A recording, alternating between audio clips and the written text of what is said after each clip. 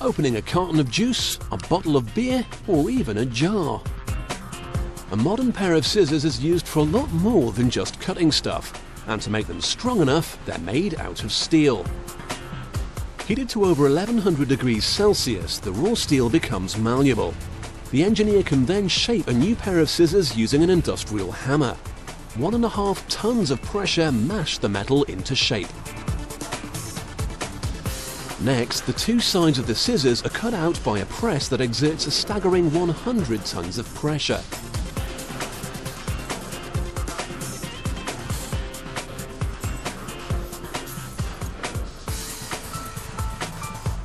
To stick the two sides together, some companies use a rivet, but here they cut a hole for a bolt.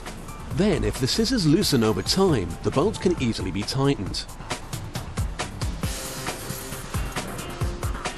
After the hole is threaded, the scissors are sent to be hardened. Without heating or tempering, steel is quite soft. Heating the part to 1085 degrees Celsius before cooling toughens the blade so they won't bend or break by accident.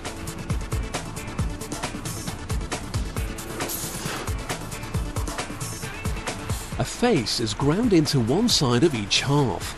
This isn't sharp yet, but it's where the blade will eventually be carved out.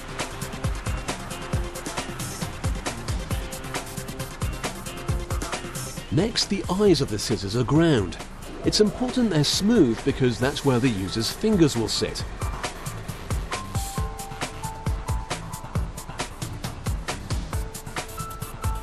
The rest of the blade is ground down to ensure it's smooth and free of sharp burrs or jagged bits of metal.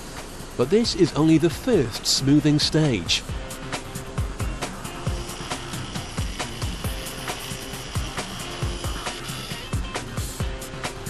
This tub is full of abrasive stones and fresh scissor halves.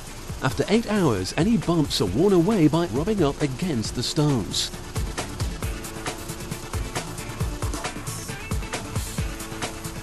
When they're done, a magnetic conveyor is lowered into the vat.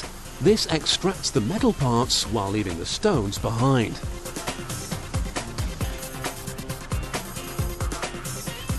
And now the scissors receive their edge, an edge that in this case comes with an added bonus. As well as being very sharp, the blade is serrated. This means that when the scissors are being used to cut cloth, the metal teeth of the serration grip it, so it doesn't slip.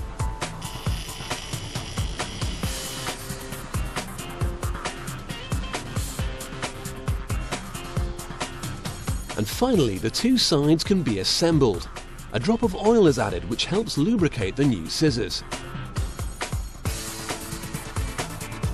They're then screwed together through the hole that was threaded earlier.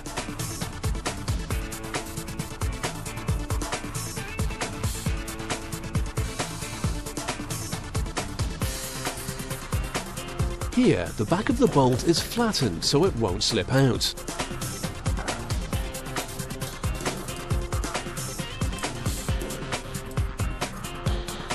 Next, the tips are hammered into shape and the scissors are tested. And here's where we learn the secret of high quality scissors. Well-made blades have a slight inward curve, so they always touch at a specific point when they close. This maximizes their cutting potential. A gap between the blades would allow material to pass through uncut. To ensure this point of contact doesn't ever damage the scissors, tests are regularly conducted on samples. They're opened and closed 80,000 times. Even after all that wear, the next cut should be just as good as the first. Finally, the newly assembled scissors are given a good polishing, ready to be sent to the stores.